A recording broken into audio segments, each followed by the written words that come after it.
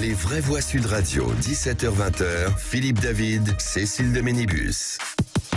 Chers amis, on est ravis de vous retrouver encore une fois et tous les jours. Et tous les jours, ce bonheur euh, ne désemplit pas. Il Ah se... oui. Ouais, bah, c'est pareil. Ça va, Philippe David? Quand euh, je suis en votre compagnie, en la compagnie des vraies voix, ça va toujours très bien. On est ravis de vous accueillir. Allez, tout de suite le sommaire de, de cette euh, émission. On va revenir sur les propos tenus contre Éric Zemmour par un responsable de la CGT. Sont-ils, pour vous, antisémites? Et on va vous raconter mercredi, Éric Zemmour dans le train pour Limoges, où il était attendu pour présenter son dernier livre. Livre a été pris à partie par un cheminot de la CGT devant les voyageurs. Tu prends le train pour Auschwitz, euh, lui a lancé le dirigeant du syndicat qui lui a valu une interpellation pour des propos jugés antisémites. Réaction en chaîne, le patron de Reconquête a annoncé porter plainte contre la CGT. Philippe. Euh, Mais pour les syndicats, la venue d'Éric de Zemmour sur une terre de gauche est perçue comme un affront. Pour le secrétaire du syndicat CGT Legrand, trop c'est trop. On nous traite de radicaux alors que lui a été condamné à plusieurs reprises pour ses propos qui alimentent la haine entre les peuples. Alors est-ce que vous êtes d'accord avec la CGT ou est-ce que vous d'accord avec Éric Zemmour. Est-ce que dire à quelqu'un, surtout de confession juive, tu prends le train pour Auschwitz, c'est de la bêtise au carré et au cube à la puissance 10 000 ou est-ce que c'est de l'antisémitisme pur et dur ça peut être les deux aussi. Dans tous les cas de figure, appelez-nous au 0826 300 300. Et les propos tenus contre Éric Zemmour pour un responsable de la CGT sont-ils antisémites Vous dites oui à 85%.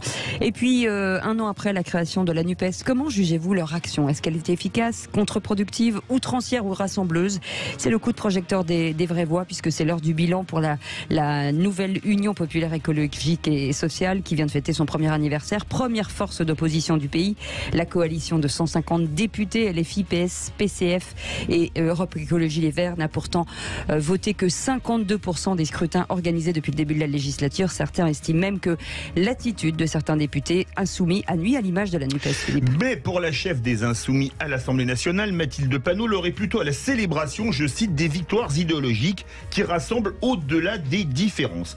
Alors est-ce que pour vous, la NUPES, au bout d'un an, vous direz que ce comportement a été, d'un point de vue positif, efficace, rassembleuse On peut dire qu'elle a rassemblé la gauche il y a un an, une gauche qui n'allait pas bien après la présidentielle Ou est-ce que le comportement de plusieurs de leurs députés est contre-productif, voire outrancier dans tous les cas de figure, le même numéro vous attend, le 0826 300 300. Pour l'instant, vous penchez plutôt sur la- l'attitude outrancière à 54% et euh, contre-productive à 29%. On vous souhaite la bienvenue, c'est les vraies voix, jusqu'à 19h. Les vraies voix Sud Radio, Et tout de suite, le grand débat du jour. Les vraies voix Sud Radio, le grand débat du jour. Il était en déplacement Ouais. euh, sur Limoges et il s'est fait euh, insulter. euh, ce syndicaliste a crié haut et fort dans le train devant Monsieur Zemmour euh, qui s'était trompé de destination et qui pensait pas que ce train était à destination d'Auschwitz ou de la Pologne. Oui, bon, on a ici la fine fleur de l'antisionisme qui n'est que le faux-nez de l'antisémitisme. Ah, tout de suite des insinuations. Je sais pas s'il a voulu dire qu'Éric Zemmour était nazi ou, ou si c'était parce qu'il était juif. Non. Où est l'esprit de Voltaire qui est l'esprit français, à savoir euh, je déteste ce que vous dites mais je me battrai jusqu'à la mort pour que vous le puissiez le dire. Il n'y a pas eu de tension. Il y a eu une agression absolument scandaleuse. Est venu présenter son livre à Limoges. Eric euh, Zemmour a donc été pris parti par un cheminot cadre de la CGT qui lui aurait demandé s'il prenait le train pour Auschwitz. Sur place, euh, un conseiller régional affirme que les témoins sont nombreux, dont les policiers et la patrouille. Là, le, patron pardon de, Reconquête a annoncé déposer plainte contre la CGT. Philippe. Sur Twitter, la secrétaire générale de la CGT, Sophie Binet, avait réagi avec ce tweet. Frédéric Tronche interroge le, le contrôleur pour savoir si le train ne va pas à Vichy. Résultat, il est en garde à vue depuis 14h30, accusé d'antisémitisme. Tout va bien.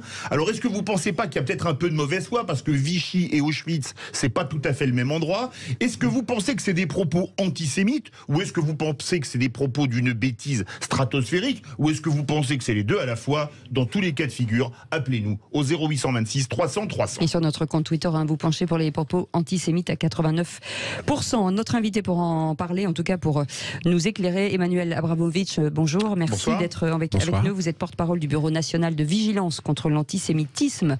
Philippe Bilger, avant, on fait, un petit tour de table euh, bah, sur cette situation euh, incroyable, sur le tweet aussi de Sophie Binet. Ces derniers jours, je trouve qu'Éric Zemmour, quoi qu'on pense de lui et de son programme, devient un peu trop victime. Je veux dire, il y a eu l'affaire de la signature du livre, où on a prétendu qu'il y avait des affrontements alors qu'il a été exclusivement victime. Et là, c'est quelque chose, entendons-nous, ça n'est pas parce qu'il est juif et que on parle d'Auschwitz que nécessairement on n'a pas le droit d'examiner si réellement derrière il n'y a pas une, un, propos antisémite. Mais j'ai regardé tout cela avant de venir, la manière dont le syndicaliste a répété la chose. Je crois qu'il est difficile, euh, voire inconcevable, de ne pas retenir l'insulte antisémite lorsque euh, on s'adresse à plusieurs reprises à Éric Zemmour en ayant l'air, là j'exagère, j'en ai conscience, de regretter presque que le train ne part pas à Auschwitz. Donc Oui, je, pense... exagéré, là.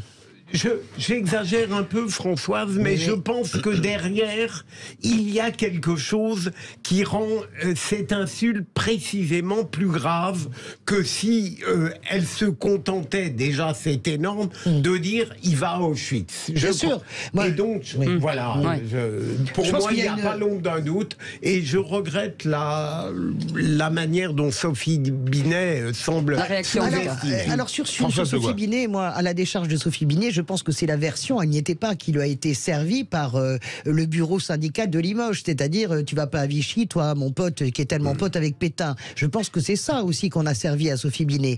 Mais Enfin, elle a tweeté tout- peut-être un peu vite. Voilà, oui, mais même, même des élus ont tweeté très vite et ils ont retiré leur tweet parce qu'en réalité, on se rend compte que euh, sur le mur Facebook du syndicaliste, il, y avait, il y avait cette phrase. Bien sûr que c'est Je- je- purement. il a mis quelque chose comme du style mon train va pour Limoges, mais j'ai peur qu'il Mais- parte pour la Pologne puisque Zemmour Mais, est dedans, ouais, quelque mais chose comme c'est ça. Pour, euh, d'abord, euh, c'est- Zemmour peut être haïssable, euh, si vous voulez, aux yeux d'un certain nombre de gens, et d'ailleurs une majorité de Français. Ça, ça me paraît tout à fait évident. Euh, Éric Zemmour euh, est odieux dans son comportement et dans ses paroles. Il n'empêche, il n'en reste pas moins vrai que nous sommes dans l'antisémitisme. J'ai envie de dire, moi, je suis peut-être plus méchante que toi.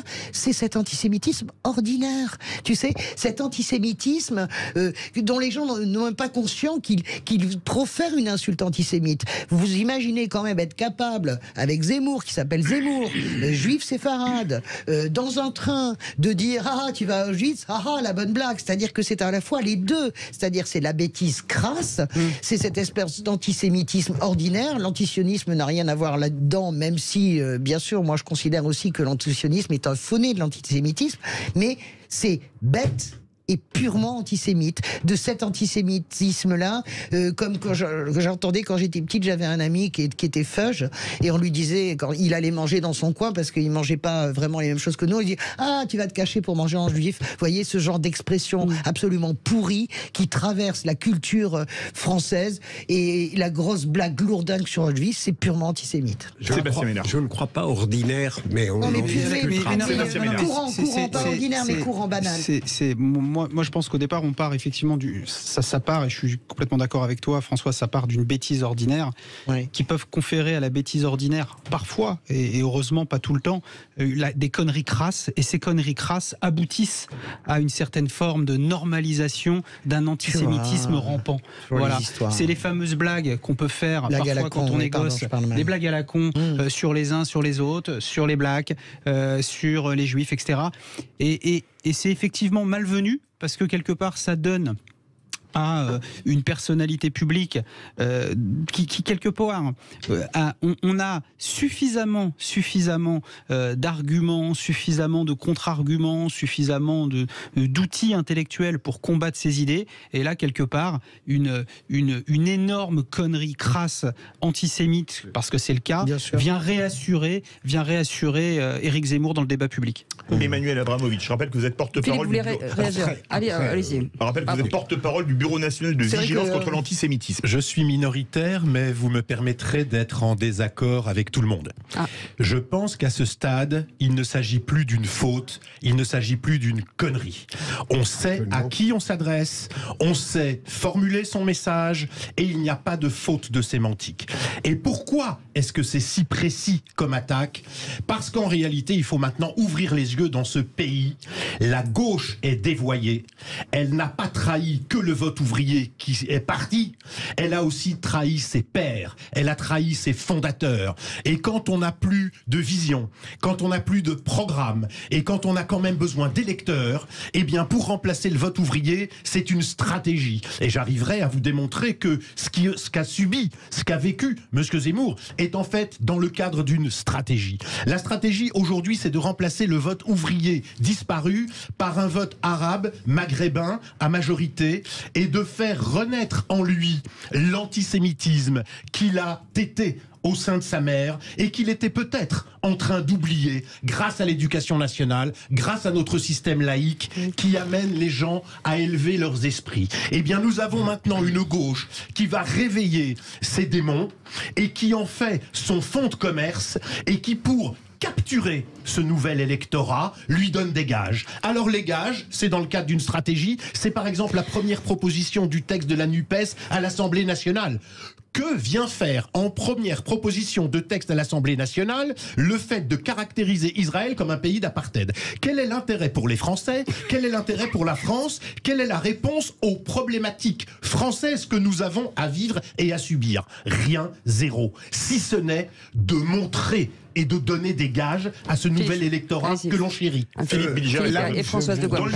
je- Je ne, euh, tout ce que vous avez développé là de manière euh, brillante mais très polémique, je ne, le- je ne le partage pas, mais je ne suis pas. euh, mais en revanche, là où vous avez totalement raison, et c'est là où je, euh, je m'oppose à Françoise et à Sébastien, je ne crois pas que c'est une connerie crasse. Ça n'a On a rien dit à deux, voir. on a dit les deux, Euh, oui, On mais même, dit, euh, je ne connerie- crois pas que c'est quoi que ce soit qui relève de l'antisémitisme ordinaire. On a un homme, je crois qu'il s'appelle Tronche, hein, c'est ça, ou euh, qui, euh, de manière très précise et ciblée, dit à euh, Éric Zemmour cette insulte antisémite dont j'ose dire qu'elle est odieuse, mais relativement originale par rapport à celle qu'on entend dans la banalité des jours. Et donc, voilà, un accord avec vous, c'est tout sauf une connerie crasse. Il y a autre chose, vous l'avez dit, mais en revanche, pour le reste, je crois que vous prêtez une sorte de stratégie euh, trop, trop, trop pleine, trop Oui. emplie. Vous, pensez, de- Non, non, mais moi, je attendez, voudrais attendez. vous répondre pensez que c'est une stratégie Vous pensez que c'est de la bêtise à l'état brut? Appelez-nous au 0826 300 300. Françoise de. Euh, Je, je pense qu'il faut vraiment euh, sortir, euh, cher Emmanuel, de la gauche. Parce que moi, par exemple, je suis une femme de gauche, je soutiens la gauche depuis toujours, je soutiens l'Union et la gauche, je ne suis ni antisémite ni antisioniste. Et en plus, je suis une amie d'Israël, une grande amie d'Israël, euh, vraiment et absolument assumée. Et je ne me sens ni wokiste ni islamo-gauchiste. Donc, ce discours-là que vous, vous menez est un discours. Non, non, mais c'est un discours. euh, Je connais très bien. On a tous les mêmes copains, je pense. Je suis l'ami gauchiste de vos copains et, de cette bande-là. Mais objectivement, vous vous trompez parce que là, vous êtes dans quelque chose de, comment dirais-je, de tota- d'une violence absolue et qui ne reflète pas la réalité. Si vous pensez vraiment que le secrétaire local de la CGT, en s'adressant à Éric Zemmour, en lui parlant d'Auschwitz, est en train de réfléchir à comment récupérer le vote musulman, c'est d'ailleurs terrible parce que vous considérez en plus que les musulmans sont tellement bêtes et tellement antisémites dans leur ensemble qu'ils sont tout à fait capables de voter pour un candidat de gauche parce que ce candidat de gauche dirait du mal à un homme, à un juif. Mais c'est complètement délirant. Votre, c'est un ce fonctionnement-là, je le comprends. L'antisémitisme a changé d'habit. Je suis d'accord avec Taguieff là-dessus. Mais vous allez trop loin dans cette idée de stratégie, cette démolition systématiquement de la gauche. Je suis d'accord avec euh, la, le texte. Le texte d'ailleurs, c'est ce fameux gen- euh, gentil communiste. Ça vient toujours des communistes, ces textes-là. Ça vient jamais du Parti socialiste. C'est pas la peine de me faire ça. ça. Je vous dis, ça ne vient. Bah, jamais. alors, dans ce cas-là, je vous le dis Mais- carrément. mais Oui, je c'est connais venu par aussi cœur- du Parti Mais socialiste. non, je connais par cœur le PS. J'en ai fait partie pendant des années. La Ça réponse. vient du PC d'Elsa. Fossillon. Emmanuel Abramovitch et ensuite Sébastien Ménard et ensuite le 0826 300 300. Avec un Alors, je vais vous surprendre encore, mais je vous remercie de cette observation parce que je réalise que je n'ai pas fait la nuance et que vous avez pu considérer à mes propos que je mettais tout le monde dans le même sac, ce qui n'est évidemment pas le cas. Tous les musulmans ne sont pas antisémites. Il existe des musulmans qui aiment la République, qui chérissent la, République la et qui la... majorité. absolument. Vous pouvez pas absolument. dire tous les musulmans, dites, Non, non, non. dites la majorité. Je suis en train de faire mon mea culpa pour Voilà, vous dire qu'effectivement, j'ai généralisé à tort par mon propos. Je ne le pense pas. Donc, je m'adresse évidemment à ceux qui tombent dans le panneau parce qu'il y en a. Et par contre, là où je me permets de préciser ma position quant à l'explication que c'est une stratégie, c'est qu'il y a autour Tour de ces discours une volonté, une recherche politique. Je vais vous donner un exemple très simple qu'on peut tous vérifier ici. sur la CGT là. Est-ce que vous Mais je suis toujours sur la CGT. Je suis sur la CGT. Non, pardonnez-moi. Je suis sur la CGT. Est-ce que vous avez vu Est-ce que vous avez vu depuis deux ans une manifestation organisée par la CGT et ou d'autres syndicats de gauche sans un drapeau palestinien? Allez-y, répondez-moi. Et si votre réponse est franche et correcte et elle le sera, ce sera oui. Ma question sous-jacente est la, est la suivante. Pourquoi? Parce Qu'est-ce que, ça vient parce faire là? que c'est la France. Vous savez, moi j'ai. Non, non, c'est pas la France. Alors je vais vous expliquer, Non, non, je suis Emmanuel. désolé, monsieur. Moi, moi, Madame, je, vais vous expliquer une chose magnifique. Je me souviens très bien. J'étais à Jérusalem. Il y avait une conférence de presse de Yasser Arafat qui allait euh, se faire soigner en France et qui allait voir Chirac. Et il disait, on lui demande à un moment donné, mais pourquoi est-ce que vous allez voir Chirac? Il dit, because when you have a problem, you call Dr Chirac. Et quand vous avez un problème, vous venez en France. L'histoire entre la France, la politique arabe du Quai d'Orsay, on peut faire toute l'émission là-dessus. J'ai le temps. Et la politique arabe du. Nous- nous pas. Voilà, l'histoire de la France et des Palestiniens, vous la connaissez parfaitement. Ce n'est pas inhérent à la gauche, ça n'est pas parce qu'il y a des drapeaux palestiniens que l'ensemble des forces de gauche est pro-palestinienne et antisioniste. Ça n'est pas jamais dénoncé Ça à gauche. L'antisionisme est roi. L'antisionisme est roi. Allez, Sébastien Ménard. Je, vais essayer, de vous rassurer parce que je, de vous rassurer, je suis pas de gauche et je suis euh, pas d'extrême droite. Voilà, je suis entre euh, le milieu et la droite. Euh, moi, pour moi, en fait, je pense qu'il y a plus, euh, contrairement à, à ce que vous laissez euh, présupposer, il y a plus de, de- et je, je vais me faire irrévérencieux, mais il y a plus de cons, d'abrutis et, et de connards en France qu'il n'y a de stratèges politiques susceptibles quelque part d'organiser euh, la- ce, ce- ce que, ce que vous caressez intellectuellement. Je dis pas que ça n'existe pas. Mais il y a beaucoup d'inculture, je suis attendez. d'accord. Je ne dis pas que ce que, que, que le point que le point que, vous adressez n'existe pas. Mais de là à dire que finalement c'est un calcul de, de positionner narrativement parlant ou visuellement parlant. Des, mais, je, mais je vais vous dire une chose, je n'y crois pas une seconde. Je n'y crois pas une seconde. Après, après, après que les, après, que les forces, après que les forces, pas de haine, Ben, ces gens de pourquoi c'est gênant un drapeau palestinien Ce qui serait ennuyeux, ce serait un drapeau du Nous Hamas. sommes déjà à côté de la question. Non mais sérieusement, Emmanuel. Pourquoi Emmanuel, je vais aller au bout, s'il vous plaît. Moi, ce que je déplore, ce que je déplore, et, je m'en suis déjà euh, euh, ce que je déplore, c'est que euh, les gens qui organisent ces rassemblements, euh, je dirais, euh, syndicaux ou politiques, etc., ne fassent pas ne fassent pas, je dirais, à travers euh, l'organisation, le service d'ordre, etc., le ménage. Mais ils ne Voilà. le veulent pas. Mais c'est c'est un autre Je- sujet. C'est un autre mais est-ce qu'on peut faire une précision pour les gens qui nous écoutent? C'est la différence entre un drapeau palestinien. Il faut quand même voir la différence entre un drapeau palestinien et un drapeau du Hezbollah ou du Hamas. Que je sache, le gouvernement Moi, israélien. entre la peste et le choléra, j'essaye d'éviter Mais les c'est deux. pas vrai, le drapeau palestinien. On est tous pour, Bon, une, allez. pour, une, pour, une, pour une solution Allez. à deux États. Mais si vous avez Ce le n'est pas Hamas. l'objet. Ben, Ce n'est il y a pas pas l'objet. Non, mais dans, attendez, non, mais dans attendez, une, dans une manifestation euh, contre, Pour la- les retraites. pour les le drapeau, non, mais le drapeau palestinien n'a rien à faire. N'a rien à faire dans la 0 manifestation. 126 300 Allez les 300. amis, deux secondes. Antoine est avec nous. Bonsoir Antoine, rebonsoir. Rebonsoir Antoine. Bonsoir. On merci essaye de vous frayer un chemin, c'est pas facile. Merci beaucoup. Je vais essayer d'être concis. J'aimerais citer Simone Veil. Mm. Elle disait dans ces dernières années, le danger n'est plus qu'on ne parle pas de la Shoah, mais qu'on en parle à mauvais escient. Et à mon avis, alors, il m'appartient pas de dire si ces propos sont antisémites ou pas. Je ne suis pas juge. Ce sera à la justice de trancher. Alors je, Je je vous pense- coupe, euh, Éric Zemmour a d'ores et déjà porté plainte, Oui. donc la justice tranchera. C'est La pour, euh, justice va voilà. trancher, certainement. Euh, je vous rejoins, euh, Philippe David, lorsque vous parlez de bêtises au carré. Je pense qu'il s'agit plutôt de, de cela. Ça n'est ni drôle ni intelligent. C'est d'une certaine façon aussi, euh, comment dire, traiter euh, nos heures sombres avec euh, avec légèreté, euh, Mm. avec euh, euh, inconséquence. Là où euh, Monsieur Abramovich pourrait aussi euh, témoigner euh, à cet endroit. c'est que l'antisémitisme en France n'est pas mort. Vous avez une étude qui a été menée par le CRIF et Ipsos euh, au printemps dernier euh, qui stipule que vous avez environ 15% des moins de 35 ans qui ont des préjugés à l'endroit de la communauté juive. Donc en banalisant ces choses-là, je pense effectivement que euh, on est en train de, de créer une surenchère et que euh, ben, les vieux démons euh, peuvent réapparaître euh, d'une certaine façon. Quelle sagesse, notre auditeur. C'est d'autant plus intéressant ce que vous dites, monsieur, euh, c'est que nous, nous, nous sommes maintenant à- en train de former une nouvelle génération qui n'a pas la culture de ses pères, ni historique, ni politique, et qu'un savant discours comme celui qui consiste à inventer une histoire qui n'existe pas peut intoxiquer des esprits vides ou fragiles. Et c'est là notre problème, c'est que nous sommes en train, après avoir quasiment vaincu l'antisémitisme historique d'extrême droite, en train d'en recréer un second. Et là, je suis désolé encore une fois de vous le dire, mais la- cette omniprésence de drapeaux palestiniens, cette Ça, omniprésence c'est de... l'antisionisme. C'est pas pareil. Mais c'est pas pareil. mais vous êtes en train d'expliquer que les, les Palestiniens sont une question très simple, parce que ça je l'entends toujours et je voudrais Non, vous répondre. Laissez-moi vous répondre. Si vous êtes chrétienne, ce que je ne sais pas et ce n'est pas un critère pour moi, si vous êtes chrétienne et qu'on vous dit je, euh, je vous aime bien, mais moi le Vatican j'en ai ras le bol.